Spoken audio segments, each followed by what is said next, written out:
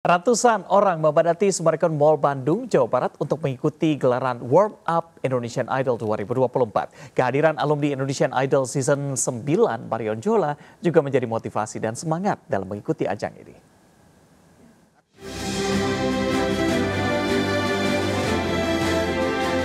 Ratusan orang dengan antusias mengikuti rangkaian acara pemanasan atau warm up session Indonesian Idol Season 13 yang digelar di Sumarekon Mall Bandung, Jawa Barat. Acara bertambah meriah dengan kehadiran alumni Indonesian Idol season ke-9, Marion Jola, yang juga memberikan tips dan trik untuk lolos audisi. Untuk total yang sudah terdaftar sampai saat ini kurang lebih di Kota Bandung 4.900.